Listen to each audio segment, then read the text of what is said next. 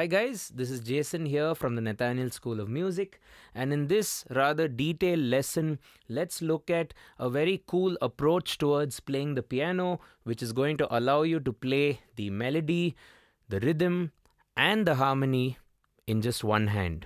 That's going to be the right hand. So, it's a very powerful technique, and it definitely allows your left hand to obviously do a lot more than what it could it's not tied down to playing just block chords or simple arpeggios, which anyways sound muddy, right? So I tend to always play my chords from middle C on the piano around there, not too high because it can sound too sharp and sort of confuse the listener uh, from the vocalist. I'll keep it around my middle C. And anytime I go lower, I try to focus more on bass lines and rhythm patterns and so on and so forth. So the bass hand or the left hand needs to get or can get freed up a lot to do the bass duties and the drum duties following the, the groove of the song and not clutter up the chords. So this technique sort of helps both purposes. It allows you to play all aspects of music in a nice crystal clear way and also give your left hand a lot more opportunities to to play right so let's get started as always we take a scale to begin a lesson we'll take g major scale in this lesson so G, F sharp, E, D, C, B, A, G. Okay, so this is your G major scale. So get used to that. Perhaps you could write it down. And the first goal which we are going to try and achieve is to play the scale using chords in a simple arpeggio pattern going up and down, just going up and down the scale. So normally we do that quite often, right? We go G, A, B, C, D, E, F sharp, G, G, F sharp, E, D, C. We have like a fingering technique and whatnot. But what I'm going to encourage you to do now is to kind of play the scale with the melody line of the scale pretty much at the extreme fingers. That's your pinky and your ring finger. So you go something with these fingers. So there's no real finger technique because you have to accommodate the chords which are going to be coming up, right? So the first thing I want to talk about, yeah, is we are going to practice playing the scale up and down just like we normally do in the uh, classical piano and the tried and tested systems, but we are going to play it with the chords backing the melody. It's going to sound like this, and then we are, I'm going to break it down for you uh, in detail. So it'll be something like.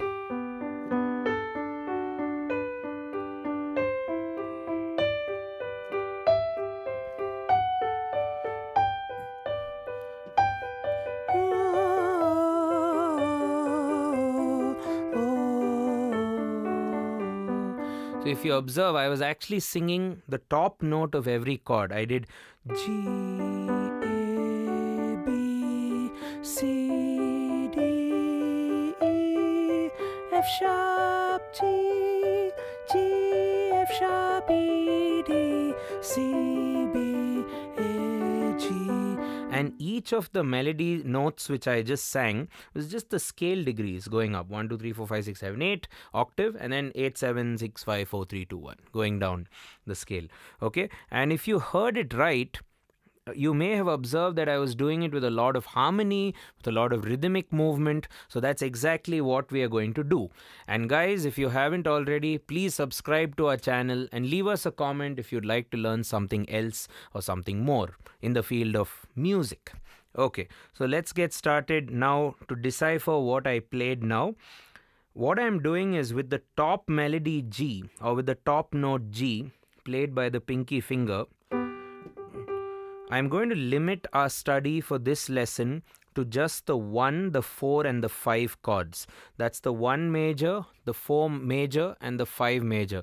As we know in a major scale there are 7 uh, buildable triads and 1, 4 and 5 are major or positive happy sounding chords.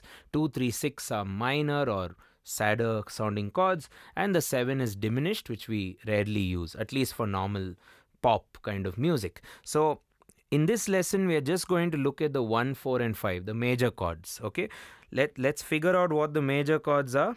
G major, G, B, D.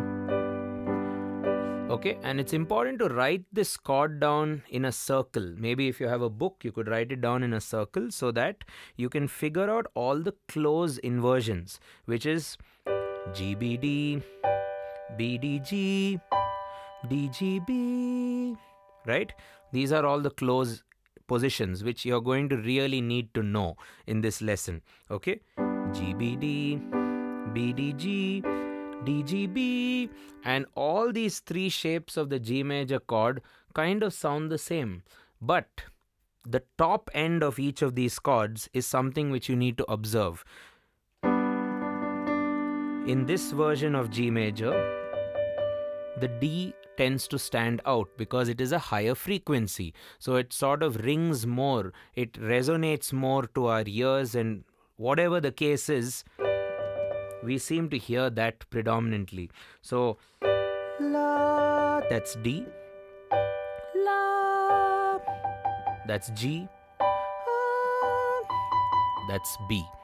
Okay, so hence it is very very important to learn all these three shapes. You can bring out the melody line in the chord. So that's D, G, B. Okay, so that's your one chord, G major. Similarly, you have the 4 chord and you have the 5 chord. The 4 chord is C major, which is C, E, G, as you may already know. And let's build the shapes C, E, G, E, G, C, G, C, E, right? So G stands out, C stands out, E stands out, right? So that's your C major chord.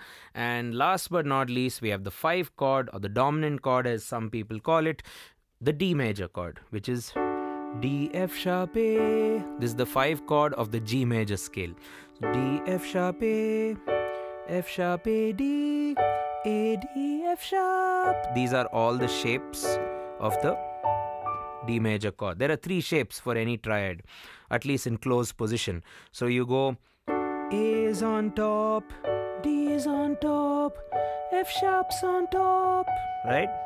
Try to even sing it so you're more aware when you do play the melody. Okay, that's pretty much all the information you're going to need theoretically at least in this lesson.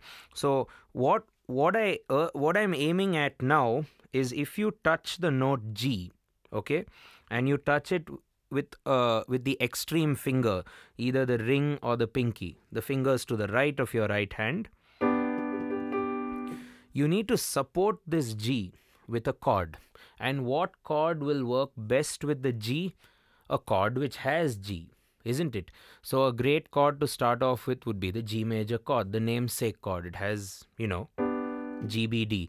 But we need to invert it or we need to play it in such a shape so that the G is on top. Because our intention is to go. That's our intention, right? So we need our root or the melody line on the top. So I will find a shape of G major which has G at the top. By top, I mean right of your keyboard or the highest sounding pitch for your ear. So that would be BDG, isn't it? BDG. So now we've made G to stand out. Now our next mission is to kind of go up to the second note A. And now you can try to figure this out on your own. A is the next melody note. It needs to be supported by a harmony or a chord. What chord has A in it? Well, a lot of chords have A in it, but in this domain of 1, 4, and 5, which I've chosen for the lesson, it's the D major chord, isn't it? D, F sharp A, and I've played it in such a way that A is at the top end. So G, B, D, G, A, D, F sharp A, and now I want to play the third note, third degree, which is B. Now you could again try this out. What chord has B in it? The G chord. No other chord has B in it, at least among the 1, 4, 5, isn't it? So you go B, D, G, B, D, G, B, B stands out. Okay, now let me proceed towards C. C is very obvious. You have C major, but I'm playing it as E, G, C. Let's play the first four notes together. G, A, B, C. And I'm playing it just as a block triad. G with G major chord, A with D major chord, B with G major chord, C with C major chord. Okay, let's move onward. You have the D. Now with D, you have two chords which work with it, right? You have, you can come back to G major or you can do D major. So this you have to decide which one you want. You have two options within the 145 realm. Uh, I'm going to choose GBD, G major, the tonic. So you go G, A, B, C, D. But I'm playing it as G, B, D. Okay. Then you have E. The only chord among the 145 which has E in it is C, C major which I'm playing as G, C, E, ba ba ba, E stands out, and the last note or the leading tone, F sharp, which wants to yearn towards the tonic, just has one triad which has F sharp in it, right? That's the D major chord, which I need to play now as A, D, F sharp, and finally we end the puzzle with B, D, G, which is where we started. So let's just go up and down using these chords which we've mapped out. G, A, playing it four times, B, G major, C, C major, D, G major, E, G, C major, F sharp melody, D major, and G. Okay, we'll also go down later. So, also, what I'd urge you to do at this stage is just to know what chord you're playing, play the root of the chord in the bass. So, that's whatever the chord may be G, C, and D. Just play the roots in the bass. D major, right? G major, C major, G major, C major, D major, G major, down. G, A, D, C, G major, C major, G major, D major, G. So I've just used the 1, the 4 and the 5 uh, major chords and I'm able to happily play the scale. Now we need to make the scale move out or move a bit like and get some rhythm. So on the piano what do we love to do the most? Arpeggios right? So the arpeggio pattern which I have set up for you is H L M L, which I think is quite catchy, quite popular. You'll find a lot of solo pianists playing that way. So you go, let's just study one chord, B, D, G. The H is G, the L is B, the M is D. That's essentially the middle note from your vision. High, low, middle, low. That's your pattern. You need to sort of practice that and get that into your send it into your subconscious bank of stuff. So H L M L H right? M L H L M L H L M. So another thing I like to do to bring out the melody even more some people would play the melody note louder. I think that's a little bit annoying or a bit scary sometimes. So I would just want to hold the high note with this finger. So this one finger needs to hold on to the high while the other fingers create that arpeggio rhythmic pattern. Hold the high. Hold the high. Okay. And now we can start climbing with the same pattern HLML. G major, C chord, the D chord, and end. Okay, let's do that again. So, wh what have I done now? G is sticking out. That's your melody. This is your chord supporting the melody. G major chord. Why does it support it so well? Because it has G in it. Obviously, it'll work really nicely. So, G, A, B, C, D, E, the sixth, F sharp, G. Okay, I have a few finger tips as well. If you're encountering a black note, maybe use your ring finger. If you're encountering a white note, maybe use your pinky, right? But I'd leave the fingering to you for you to explore because every scale on the piano is a little different. In this tutorial, we are considering G major for our study. But yeah, you can do it for other scales and maybe other types of scales, perhaps a G harmonic minor, you know.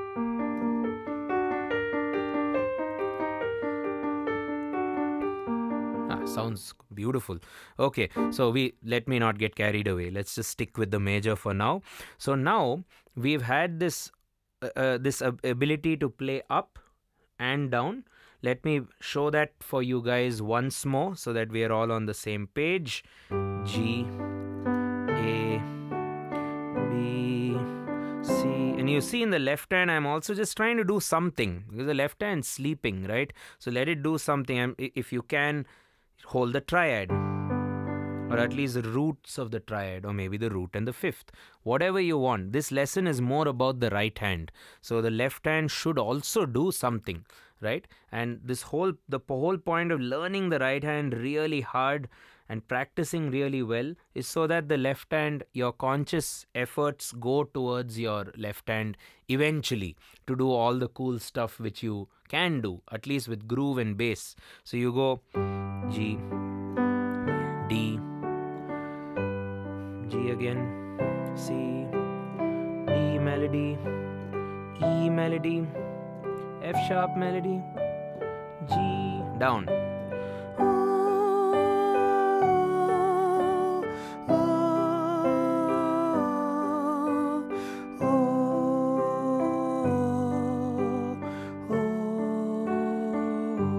More time little faster.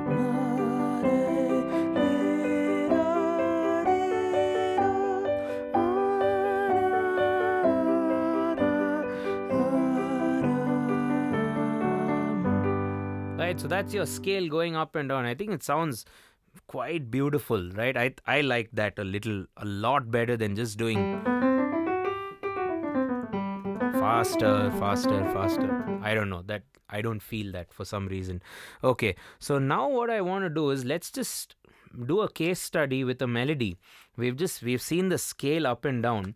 So the way I look at it is the melody is going to be the tune in the pinky finger, but the or the ring finger, but those notes are going to skip. It's not going to be linear. If it was linear, it'll just be a scale exercise. So if you take a melody like everyone's favorite, I would imagine. Twinkle, Twinkle, Little Star. You go one, five, five, six, six, five, four, four, three, three, two, two, one. Okay, those are the scale degrees on G, G, D, D, E, E, D. C C B B A A G. Now, as you can possibly hear it doesn't sound very rich it doesn't sound full. So i want to get that technique you know. Which we learned earlier playing the scale up and down into this song. So let's do that. So let's try it. G again. This is your g hold. For the melody note g you're going to press bdg so let's see how that works twinkle. Try to sing. Twin- don't lose the melody. Twinkle. Twinkle now i have to skip to the 5 that's going to be a little tricky because i have to jump from the root to the fifth but that's the fun about it right? Twinkle. Jump. Twinkle. And i'm still playing the g major chord because that's the chord i have for d. Twinkle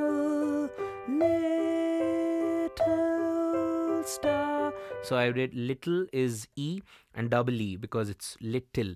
Little star, star. Now I don't want to repeat star. So I'll do star. I want to hold on to that star. How I wonder what you are. Okay, so now you may be thinking, yeah, I have a triad having three notes, but then I'm still using only three fingers. I can actually bring in sneak in another finger and you'll see why that's going to be very very important in this case so if you do twinkle this you can survive with five with with just three fingers but then when i shift to the five twinkle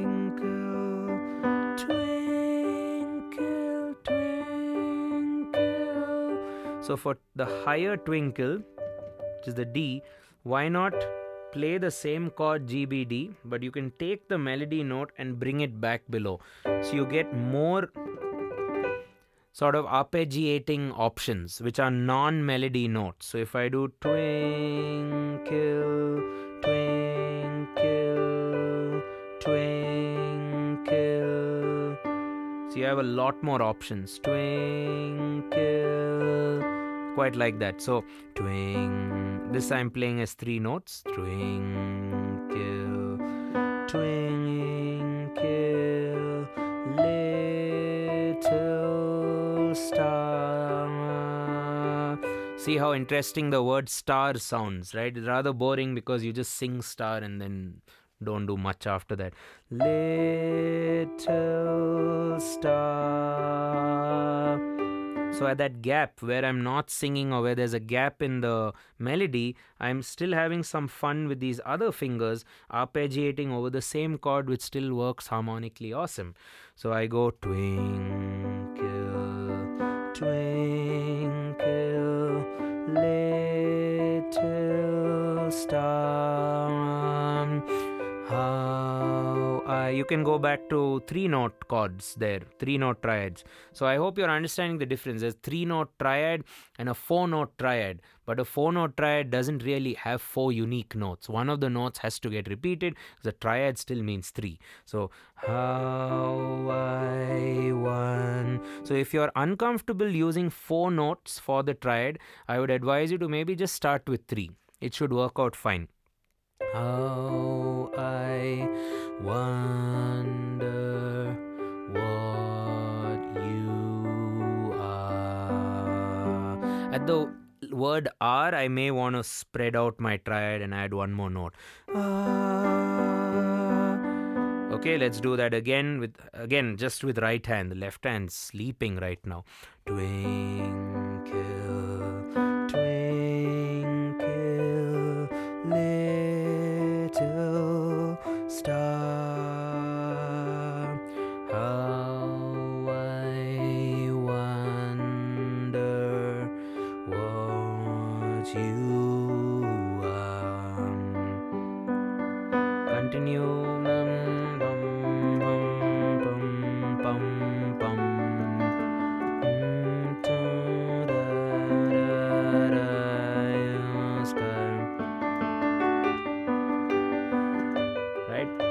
much have your rhythm going, your chords going, chords are moving, and I hope you're hearing. We've not lost the melody at all, haven't we? Right? So, the last thing in this tutorial, which I want to leave you guys with, is sort of like the icing on the cake, where rhythm is going to start taking over. So, you got your melody, you got your chords, and then everyone's favorite comes to the party rhythm. So, if you observe what I'm playing right now, I'm pretty much playing it either as you can count it as eighth notes or 16th notes, right? 1 and 2 and 3 and 4 and 1 and 2 and 3 and so right now I'm counting it as eighth notes. But what if we think of it in a triplet world? The melody is pretty much on quarter notes, isn't it? Twinkle, three, four. It's pretty much on quarter notes or crotchets as we call it, or on the pulse. It's not dividing the beat. So what do we do? Let's try triplets. So that'll be something like twinkle, twinkle, star, uh, uh, uh, something like that, where you divide by three. Let's see how that sounds.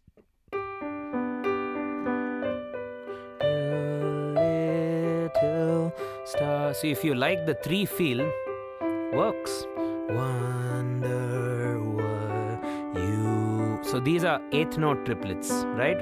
If you like, you can play it with 16th note triplets. Twinkle, twinkle, little star.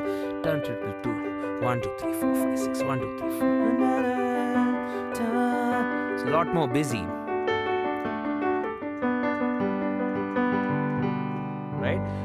You could do is you don't have to play all the divisions of the beat. You can knock off a few, like probably something like tuck tugga duck tugga duck tugga duck tugga duck tugga duck tugga duck. That's like a gallop, I guess you could say. So maybe something like.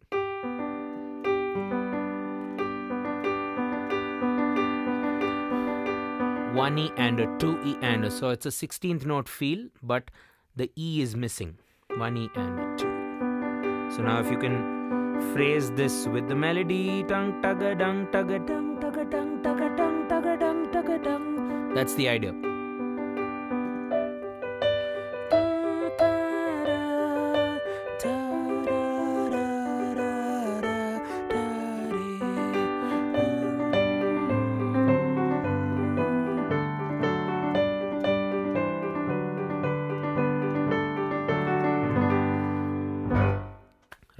So if you go back to the beginning of the lesson, I actually tried to demonstrate a few of these things uh, as best as I could. So yeah, so this is a, a, very cool approach if you ask me on the piano to play everything music has to offer except the lyrics obviously. You can't play lyrics on the piano. But yeah you you do melody you do chords you do rhythm a pattern unique stuff just in one hand and the, it'll make your playing a lot more professional. I can definitely vouch for that. A lot of people would would want to work with you you know and also your left hand can have a mind of its own as it should be on on this amazing instrument it's a it's a crazy instrument for developing music right so you'd rather free up things as best as you can and optimize things as best as you can and in this instance the right hand is doing a lot of things. So it's really making your left hand. Well, we haven't.